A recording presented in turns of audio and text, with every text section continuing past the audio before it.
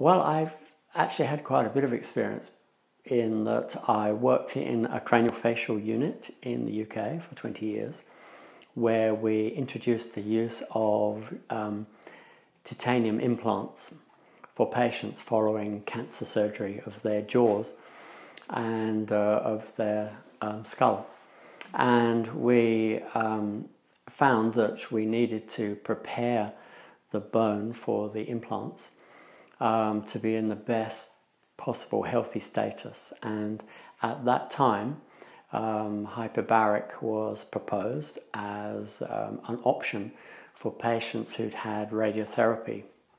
So, if patients have radiotherapy, then the microvascular blood um, vessels are damaged and destroyed deep within the bone. And we knew from um, clinical evidence at that time that if patients went into um, hyperbaric um, therapy treatment, that that um, blood could be um, blood flow could be improved. Mm-hmm. So we would put the patients through um, a series. I can't remember the number of dives. It was maybe five or ten dives, as we called it, mm-hmm. in a chamber, a very large chamber and they would um, then come to surgery.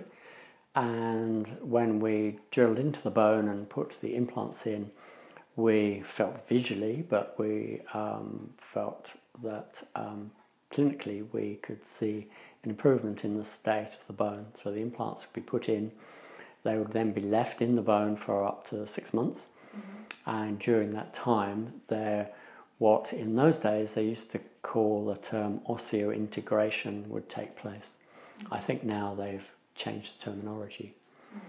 Um, and we saw um, what we felt was an improvement. We also had the patients, and it was slightly subjective, but their reports from being inside uh, the chamber was that the areas where they'd had radiotherapy and surgery, they could feel um, a sort of tingling or a some form of response.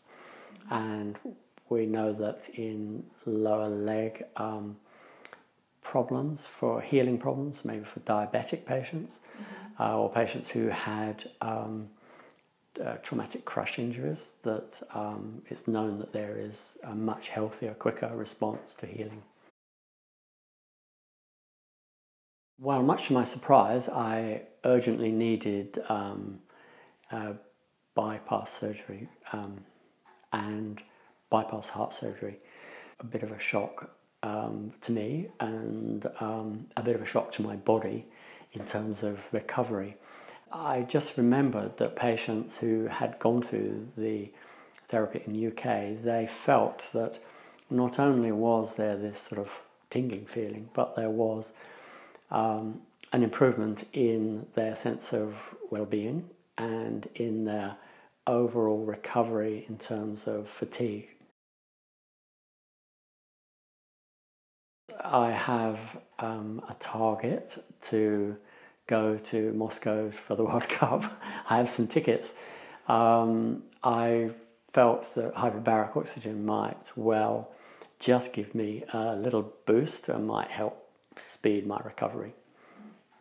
Thank you.